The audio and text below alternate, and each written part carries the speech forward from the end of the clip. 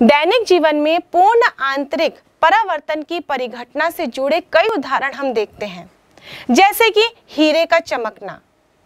हीरा हमको चमकते हुए नज़र आता है, लेकिन जब हीरे को साधारण तौर पे हम देखें, जब वो कोयले की खान से हमको प्राप्त होता है तो एक सिंपल कांच का टुकड़ा जैसे नज़र आता है, जो बिल्कुल चमकता नहीं है। हीरा चमकता कब है? जब उसको बहुत तराशा जाता है। मतलब उसको काट काट के उसकी कई सतह बनाए जाते हैं, उसकी कई फलक बना दिए जाते हैं। और वो फलक इस प्रकार होते हैं कि जब प्रकाश की किरण उसमें प्रवेश करती है तो अपतन कोण का मान उसकी क्रांति कोण से अधिक हो जाता है। और जब अपतन कोण का मान क्रांतिक कोण से अधिक हो जाएगा तो वहाँ पर होगी पूर्ण आंतरिक परावर्तन की घटना। यानी कि जो प्रकाश किरण हीरे के अंदर प्रवेश कर चुकी है, वो उसके अंदर कई फलकों से बार बार बार बार टकराती रहेगी। और जिस फलक पर प्रकाश की किरण का आपतन कोण का मान क्रांतिक कोण से कम होगा, तभी वो बाहर निकल पाएगी और हमारी आँखों में प्रवेश करेगी। और तब तक हमको हीरा बड़ा ही चमकता हुआ नज़र आता है। वैसे हीरे और वायु के आ, माध्यम के पेयर के लिए अपवर्तनांक 2.42 होता है। और हीरे का अपवर्तनांक अधिक होने के कारण इसके लिए क्रांति कोण का मान बहुत ही कम होता है लगभग 24.41 डिग्री का। क्रांतिक कोण का मान कम होता है। इस परिस्थिति में अपतन कोण का मान आसानी से अधिक प्राप्त हो सकता है। और यही कारण है कि हीरा चमकदार हमको नज़र आता है। वैसे ही यदि किसी बीकर के अंदर हम पानी रखें और उसके अंदर बुलबुला देखें हवा का तो वो भी चमकदार नज़र आता है। यहाँ पर हमने पेयर लिया है पानी और वायु। पानी सघन माध्यम है और वायु विरल माध्यम है। जब प्रकाश की किरण पानी से उस वायु के बुलबुले में टकराती है जल और वायु के बुलबुले के लिए क्रांति कोण का मान लगभग 48.75 डिग्री होता है। जिन, जो किरणें पानी के अंदर वायु के बुलबुले में इससे ज़्यादा कोण पर आपतित होती है, वो परावर्तन के नियम का पालन करते हुए परावर्तित हो जाती है और हमारी आँखों पर पड़ती है। तो वो हिस्सा, वो सतह बुलबुले का हमको चमकदार नज़र आता है। वैसे ही यदि हम बीकर के अंदर, जिसमें कि पानी भरा हुआ है, एक टेस्ट ट्यूब डाल दें। उस टेस्ट ट्यूब ने, में भी हमने अगर आधा पानी लिया हुआ है, उस टेस्ट ट्यूब को यदि हम तिरछा करें तो यहाँ पर भी वही पेयर है माध्यम का, जल और टेस्ट ट्यूब के अंदर की वायु।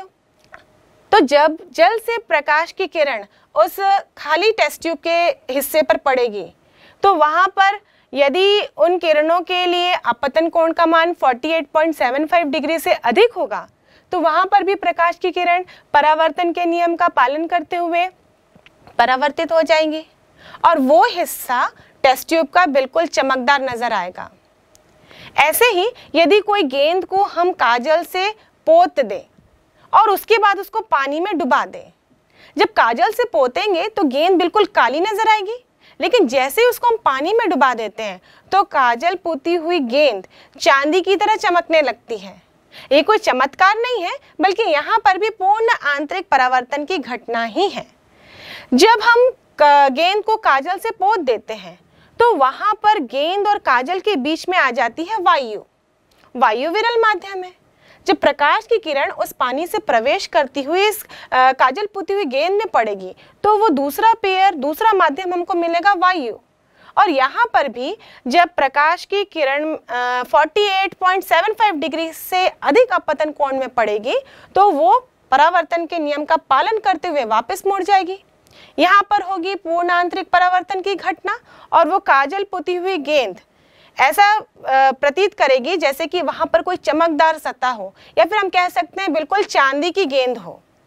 क्योंकि वहाँ से आने वाली प्रकाश लौट चुकी है और हम देखते हैं कि आईने में भी ऐसा ही होता है, जो लौटी हुई किरण रहती है, जिस सतह से वहाँ वो सतह बिल्कुल हमको चमकदार, चमकीली नज़र आती है, जैसे कि वहाँ पर चांदी रखा हो। इसी प्रकार यदि किसी ग्लास में हमने एक सिक्का डाला वो सिक्का हमको ग्लास में नज़र आता है। हम ये भी जानते हैं कि इस पानी से भरे हुए ग्लास में जो सिक्का है थोड़ा सा ऊपर की ओर हमको नज़र आता है, क्योंकि यहाँ पर प्रकाश का अपवर्तन होता है। लेकिन जब हम ग्लास को थोड़ा सा टेढ़ा कर दें, तिरछा कर दें, इस कंडीशन में भी हम देख रहे हैं कि जो दो माध्यम का पेयर है, वो है जल और वायु। अब जो किरणें इस सिक्के से पानी के अंदर 48.75 डिग्री से अधिक कोण में आएगी। वो जल से बाहर नहीं निकल पाएगी, बल्कि वो मुड़ जाएगी जल के अंदर और हमारी आँखों पर प्रवेश करेगी। और हमको सिक्के का पोजीशन ऐसे नज़र आएगा कि जैसे कि वो हवा में लटक रहा हो। यहाँ हमको सिक्का हवा में लटकता हुआ नज़र आ रहा है। यहाँ पर पूर्ण आंतरिक परावर्तन की घटना के कारण। सिक्का ही नहीं एक जहाज़ भी हमको ऊपर लटका हुआ नज़र आता है। और ये घटना कहलाती है मरीचिका।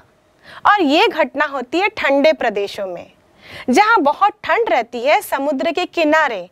वहाँ हम देखते हैं कि समुद्र के किनारे की जो हवा है, वो सघन हो जाती है। जैसे जैसे हम ऊपर की ओर बढ़ें तो वायु की परत विरल होती जाती है। मान लीजिए कोई चट्टान है, जिसके इस पार एक जहाज़ हो और जिसके दूसरी ओर एक व्यक्ति खड़ा हो। चट्टान के कारण हम ये सोचेंगे कि व्यक्ति जहाज़ को नहीं देख पाएगा। लेकिन यहाँ पर होता है एक मैजिक या बोल सकते हैं प्रकाश की घटना। जो प्रकाश किरणें इस जहाज़ से आगे की ओर बढ़ रही हैं, ये सघन माध्यम से विरल माध्यम की ओर प्रवेश कर रही हैं। और जब सघन से विरल में प्रवेश करेंगी तो ये अभिलंब से दूर झुकती जाएँगी। दूर झुकते झुकते एक ऐसी स्थिति आएगी जहाँ पर इस आपतन कोण का मान क्रांतिक कोण से अधिक हो जाएगा।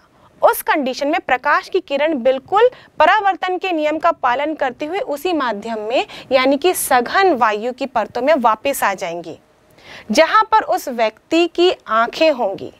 अब इस व्यक्ति को कैसा प्रतीत होगा कि ये किरणें किसी अन्य जगह से आ रही हैं? मतलब ये जहाज़ का प्रतिबिंब इस व्यक्ति को ऊपर की ओर नज़र आएगा। ये कुल मिला हम कहें तो ये जहाज़ उस व्यक्ति को हवा में उल्टा लटका हुआ नज़र आता है। और ये जादू है पूर्ण आंतरिक परावर्तन का।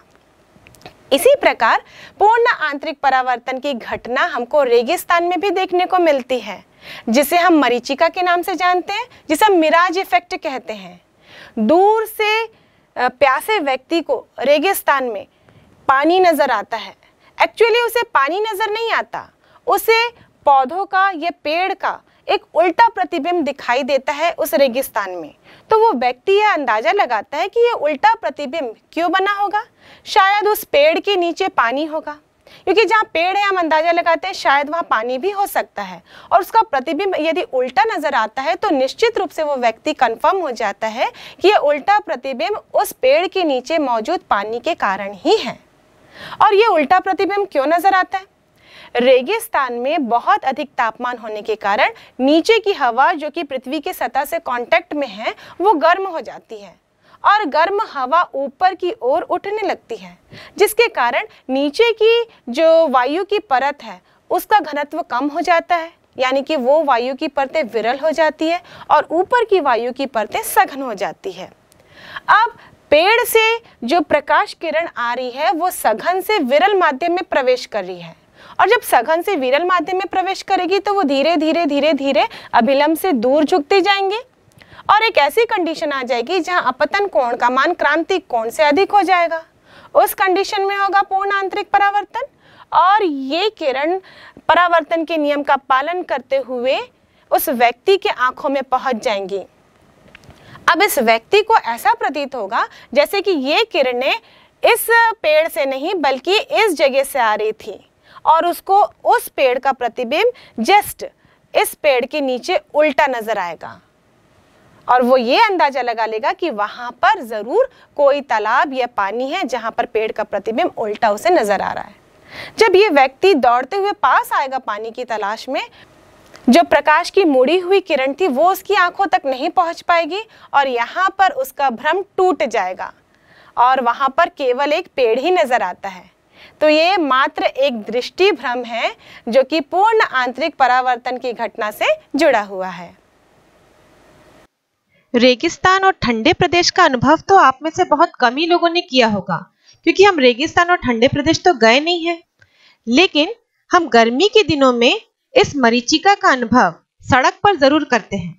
जब गर्मी के दिनों में बस या कार से हम यात्रा करते हैं और दूर सड़क में देखते हैं तो सड़क हमको चमकीली नज़र आती है। ऐसा प्रतीत होता है कि सड़क में पूरा जल बिखरा हो, पूरा पानी बिखरा हो, और जब हम वहाँ पर पहुँचते हैं तो वहाँ पर कोई पानी नहीं होता। फिर हम दूर से देखते हैं तो फिर दूर की सड़क हमको चमकती हुई नज़र आती है। और जब हम फिर पास उसके पहुँचते हैं तो वहाँ पर कोई पानी नहीं होता। ये भी मरीचिका का ही कारण है। हमको कहीं दूर से आसमान की परछाई उस सड़क पर नज़र आती है, और हमको ऐसा लगता है वहाँ पे नीला नीला जल हो। पर वास्तव में वो जल नहीं होता, बल्कि वो मरीचिका है, यानी कि पूर्ण आंतरिक परावर्तन की एक घटना का उदाहरण है। इसी प्रकार जो मछली होती है पानी के अंदर, उसका भी दृष्टि क्षेत्र लिमिटेड होता है। वो भी एक निश्चित कोण के शंकु के अंदर ही देख पाती है। यदि हम पानी और वायु के लिए क्रांतिक कोण देखें तो ये 48.75 डिग्री का होता है। लगभग 49 डिग्री का, मान के चलते हैं। तो यदि हम एक मछली ले जो पानी के सतह के नीचे है, माना कि ये पानी की सतह से एच हाइट नीचे है तो यहाँ पर जो किरणें वस्तु से सीधे सीधे आ रही है, वो तो मछली की आँखों में पड़ेंगी। लेकिन जो किरणें 49 डिग्री के कोण पर आ रही हैं मतलब मछली की आँखों में 49 डिग्री का कोण बना रही है, वो तो इस अंतरा पृष्ठ के समतल हो जाएँगी। मतलब अब 49 डिग्री के आगे की कोण की प्रकाश किरणें वापस परावर्तित होके इस पानी में ही आ जाती हैं। या फिर हम बोल सकते हैं कि मछली जो है तली की चीज़ों को भी दर्पण की तरह देख पाती है कुछ दूर तक, क्योंकि ये किरणें पूर्ण आंतरिक परावर्तन के पश्चात मुड़कर मछली की आँखों में पहुँच रही हैं। ऊपर में ये कितने का देख पाएँगी? 49 प्लस 49 मतलब कुल मिला के 98 डिग्री का शंकु जो है उसके क्षेत्रफल तक ये देख पाती हैं। अब ये कितने क्षेत्रफल तक देख पाएगी? इसके लिए हम लोग इसकी त्रिज्या निकाल लेते हैं।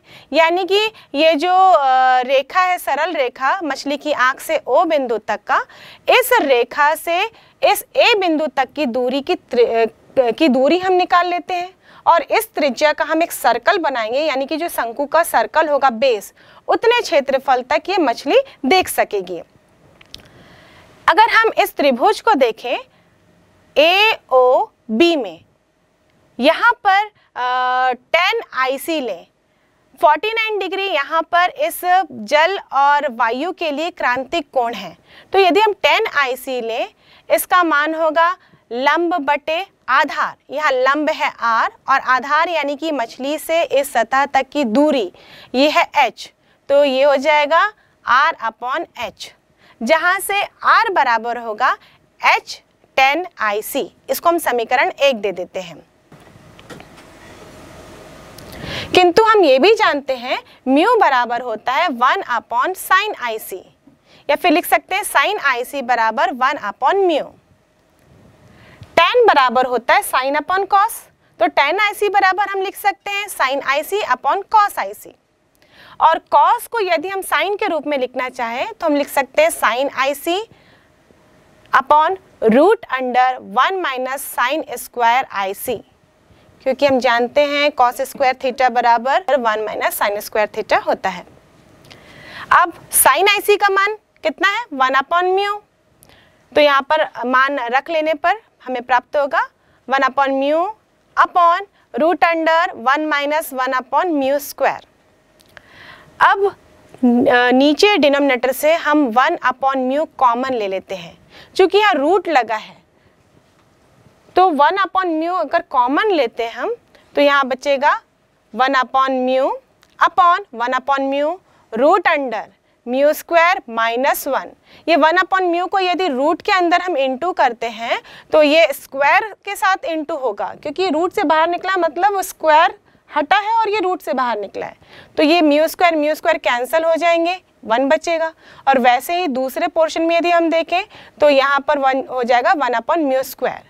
इसलिए जब कॉमन लिए हैं तो हमें प्राप्त हो रहा है वन अपॉन म्यू अब न्यूमरेटर डिनोमिनेटर से वन अपॉन म्यू कैंसिल कर देते हैं तो टेन आईसी का मान होगा one upon root under mu square minus one equation one को हम देखें तो आर बराबर है एच टेन आई अब टेन आई का मान यहाँ पर लगा देते हैं तो आर बराबर होगा H one upon root under mu square one R बराबर H upon root under mu square one.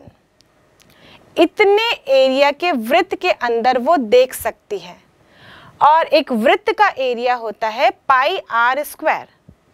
तो हम मछली का दृष्टि क्षेत्र निकालेंगे पाई आर स्क्वायर से। तो पाई आर के जगह लिखेंगे H upon root under mu square minus one का होल स्क्वायर। और मछली का दृष्टि क्षेत्र बन जाएगा pi H square upon mu square minus one. यहाँ पे स्क्वायर और रूट कैंसिल हो गया। तो इस प्रकार यदि मछली को पकड़ना हो तो इतने एरिया के वृत्त से बचकर, यानी कि छुप कर हमको मछली को पकड़ना है, तब मछली हमको नहीं देख पाएगी। यही कारण है कि जब मछली पकड़ने जाते हैं तो बहुत दूर हम बैठ जाते हैं और सिर्फ़ एक रस्सी या मछली के लिए कांटा डाल देते हैं। तब मछली हमको नहीं देख पाती और वो कांटे को आसानी से खाने आ जाती है। यदि हम झांकते हुए मछली को देखें तो बिल्कुल मछली हमारे हाथ में कभी भी नहीं आएगी।